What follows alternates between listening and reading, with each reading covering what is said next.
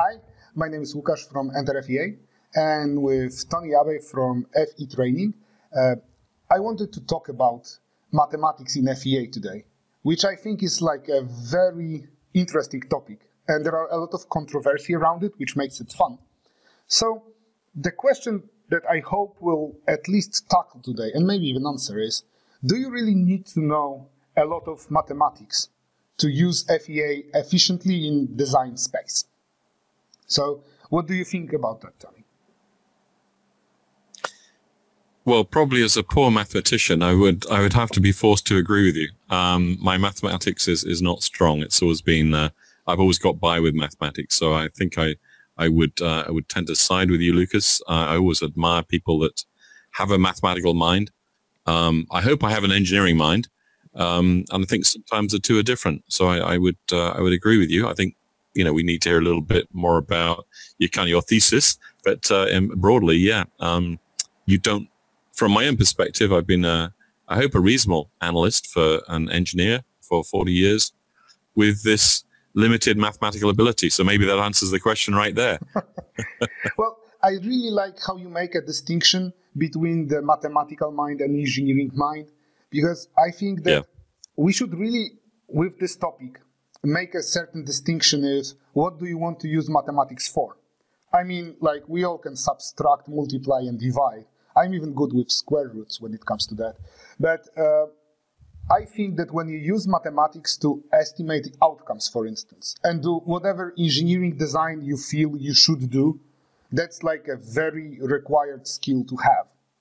But when you go into this very high matrix operations, nonlinear calculation, mathematics stuff, I don't even know the names of the symbols in textbooks, not to mention understanding what they do.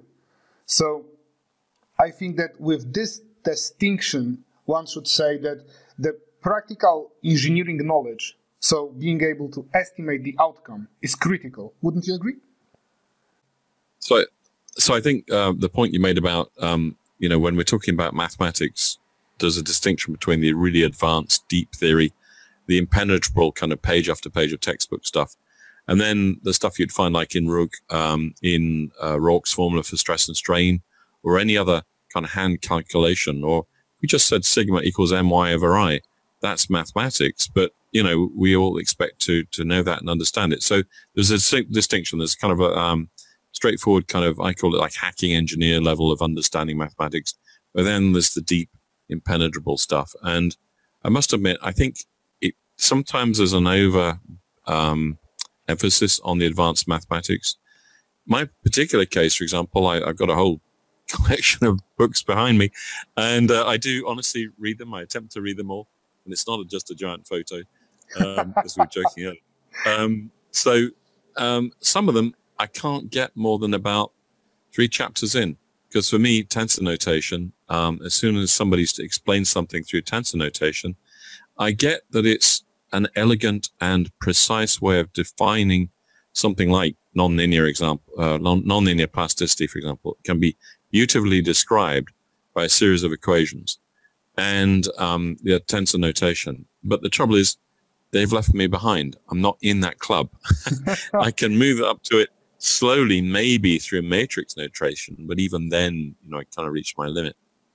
I always remember my master's um, degree. Uh, we did uh, complex. Uh, we we did potential flow, uh, basically um, uh, the stresses around a, a, plate with a hole in it and things like that. And the starting equation was delta to the fourth phi equals zero, and that's it. That's your lot. That's your starting point. And then you start to bring the boundary conditions and everything. And I think we spent about eight weeks slogging through yeah. that. And, you know, it, I look at it and think, okay, I can look up a textbook. And I can see the results. I can see the results plotted.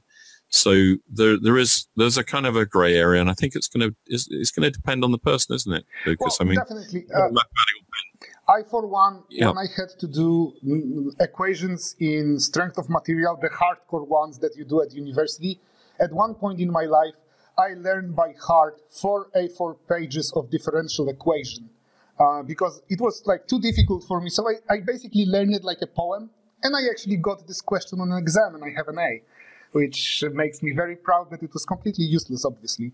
So I, I think that what I would say is that the part of mathematics that you use in engineering judgment, like I, I don't even dare to call this like mathematics because most of the time you'll mm. just multiply, add, subtract, and divide numbers. But you need to know which numbers to divide and what to subtract from what. So I would say that the math- mathematics that you need is so basic that it's absurd. But it doesn't mean that the calculations are simple. They are actually pretty difficult because it, it, they, those require you to know what you want to do and how, how to calculate mm. that, right? And this is something I believe everybody involved in FEA should have. It's like a skill to estimate outcomes. A few days ago, I actually found out that I misclicked in uh, FEMAP and while I was doing load data surface, like one coordinate was off, and I was like, I would never found it when I was like, you know, someone handed me the model and say like, search for a mistake. Like it was unfoundable by all means. But since I was checking outcomes by hand, I saw like, okay, everything is nice, nice, nice. Wait, this doesn't work. So I was searching for a particular thing and I found it. So if I wasn't able to estimate the outcome I should get from FEA with hand calculations, even within reasonable accuracy, like 20, 50%, whatever, but at least I understand what I should get. This gives me a certain power over what I do.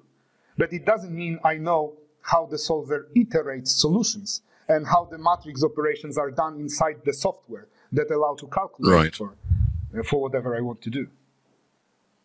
I guess a good analogy is um, if um, you can you can drive a motor car, you can drive a motor car efficiently, effectively, and so on. But you don't have to know every aspect of that of of the operation of the motor vehicle. You don't have to know the combustion sequence. Uh, uh, and these days, particularly like with computer controls and all the rest of it in, in your in your car, it's becoming that that way anyway. But you know how to drive that effectively and efficiently.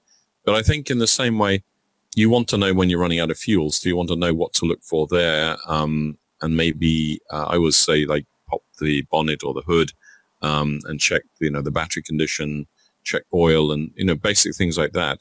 So um, although we might not understand, um, for example, if we take uh, we were talking about snap through buckling the other day.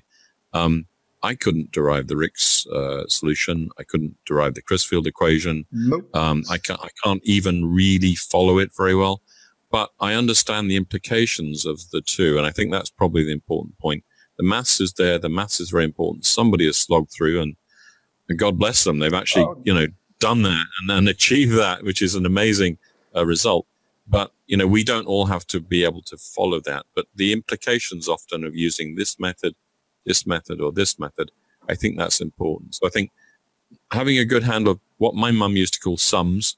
She used to look at my what I call mathematics and say, you know, bring over my homework from the degree course kind of thing. She'd say on the on the break, she'd say, "Are you doing sums again?" No, mum, it's mathematics. But really, I think maybe your description is a good one. Maybe engineering checks are more like sums. Um, advanced oh, yeah. mathematics, advanced theory. Somebody's got to do it. Glad they've done it we need to know the implications of these, but we don't have to kind of follow them all. Yeah. So something I think I'd also add is that um, I've been doing engineering a long time now. Sometimes mathematical equations have taken me literally 10, 15 years to absorb. And for example, um, when I do that buck, buckling, uh, sorry, snap through problem, I actually come up with um, actually is a variant of that problem, actually come up with a closed form solution. And it, and it stretches me and it stretches, you know, the people on my course. But I've, I've done it enough times. It actually is beginning to make some kind of sense to me as an equation. First thing I do with an equation is I put it into an Excel spreadsheet and say, what does it look like? And with that one, I can actually see the form of the response, the force versus deflection curve, see where the terms are coming in from the mathematics. So sometimes with patience and with perseverance, mathematics can, the mathematics can kind of creep up on you. And it's literally I've been the case sometimes. It's taken me maybe even 20 years. You know what? By looking at this long enough, looking at the graphs of this, looking at the form of the equation, I begin to understand how it all goes together. So I think that would be a message I'd give to people kind of starting out. You know, it, it, it, some of some of it will always remain impenetrable, but some sure. of it kind of grows, sort of grows on you. Well, Have you come across that? I think that if you really want to learn something, start teaching it that's so cool. Like when you start PhD research and they just push you Yeah. into the classroom and say, like, you know, tell those guys how to do it. And it's like, I don't know how to do it. Like, relax, just tell them. And after, like, I learned myself that, especially when something is difficult, when I talk during class, uh, I had a professor who used to say that, wow, today I'm explaining this really well because even I understood something. and and I, I was always thinking that he was joking. And I distinctively remember several times in my life when I was actually explaining something. And it came to me like, wow, now I understand it a bit more. So there, there's definitely something there. But I would also like to go back to the car analogy because I love it as well. And what I would add to, uh, like to add to it is that I would say that people doing FEA are divided be- on between like mechanics and drivers, and you cannot say which one of those groups is quote unquote better. Like you can be a race driver and you can be like a wonderful mechanic, and both are great.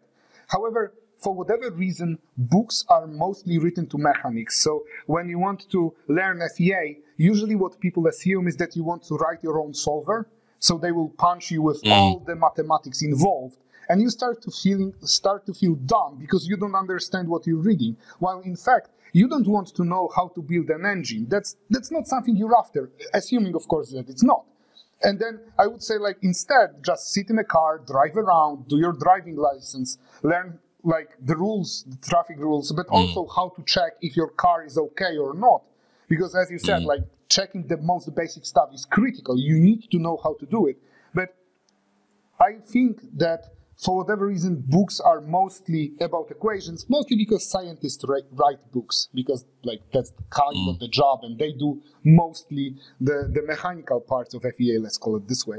So I think there's something there to be said as well. And if you want to write your own solver, then this mathematics is critically important. And there is no doubt about that. You need to know every detail because otherwise you won't be able to code a solver that does the job properly. But if you want to use a solver someone else did, it's, it's like a completely different skill set, I think. Mm. Yeah, that's interesting. It, it depends really um, where you are in the whole industry, as you say. If you if you're a top flight academic who's researching new areas, then you you probably it's essential you have that mathematical grip. If you're an experienced analyst, maybe you know a little bit more mathematics. But again, hopefully the engineering is there. If you're a design engineer moving into uh, FEA, then the mathematics is going to be um, sometimes tough. It's going to be a long time, perhaps, since you you did maths. It wasn't something you kind of really focused on. So I think again, the level of mathematics you need to adopt is is um, it varies. But I think it's like again that car analogy. Um, if I remember when I used to do the the UK driving test, I used to tell you how your braking distance, uh, different speeds. They did it in terms of buses. You know, the old London bus. So Yeah. they'd say, okay, if you're traveling at 50 miles an hour, I can't remember what it is now, sadly, but like 10 London buses. So they're saying that we're not giving you the equation of the braking uh, distance because who's going to remember that when, you know, th- there's a car in front of me. Um, is the equation say going to stop quickly enough? But it may be the, the memory of the London buses, you know, is more of a, a kind of a, an analogy. So I would say our, the analogy of kind of bring, building up to is like for a design engineer, know what that stopping distance is, know what the traps are, the pitfalls at the kind of the basic level without necessarily knowing the detail of the underlying, underlying mathematics. But the, the effect, which is you're going to hit something if you don't hit that brake quickly enough, is is the same kind of analogy in, in FE analysis. If you're particularly like a design engineer coming to FE analysis, or somebody's just a bit rusty about maths, or never liked mathematics, I often find when I teach the intro to FEA class, um, we use just simple mathematics to build up a, a stiffness matrix. A rod, we build up three rods, invert yeah. that. And it's usually at that point you'd say to people, does this look familiar, this matrix operation? And I always say to people that, you know, they're a bit rusty or they might never have seen it. Go and get a basic book on matrix manipulation, you know, and, um, don't, don't kind of be shy or whatever. It, that I think is a, perhaps an important level. Just what is a matrix? What are simple manipulations? Because that's so much of our kind of like our, our building a building block. So I think that's the only bit of mathematical advice I would say you, you where you'd perhaps stretch people a little bit, not deep level, but just what is a matrix? How do we assemble a matrix? Maybe how we, you know, not the detail of inversion, but what is a matrix inversion and so on. And that, that would probably be about it, as well as our, we talked about our sums, as my mum would say, yeah. our basic P over A and Y over I and all those kind of things that we would be using day in, day out. So, um, yeah, I think that's, that's where I stand. Um, I think, um, I think we're, we're in agreement. Uh, I'm glad to hear as, as an academic background, you have your limits as well. I was, I always worry, I always feel uh, humble when I think you know these people that can just quote um, again uh, tensor notation off the top of their head. I always feel, wow, you know, this is a special kind of people that oh, can yeah. do this. Yeah. Well, no worries. I won't quote any tensor notation from my head. That's not my skill set. uh, so basically, you can easily do a PhD in practical engineering without knowing that, and it's all fine. So yeah, I, I don't really feel like super dumb for not knowing the mathematics because I think that like there are other things and other skills you might have instead. Because as someone was, once asked me, why don't you learn that? And I said, like, look, I can.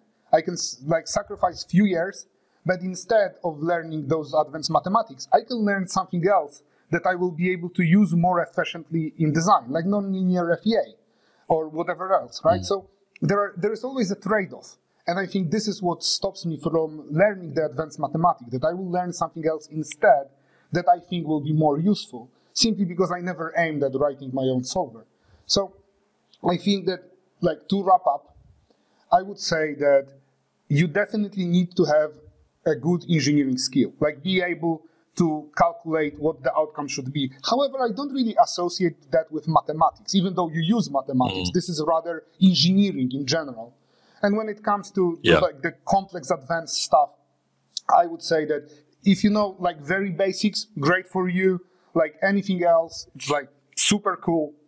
But I spent like 10 years of my career designing a lot of things with nonlinear FEA, and I don't know those. So clearly it works without that as well. And I think that's that's a good message to leave that you don't really have to go for through Crisfield's volume to understanding everything to be able to do nonlinear FEA, and and that's that's an important point, I think.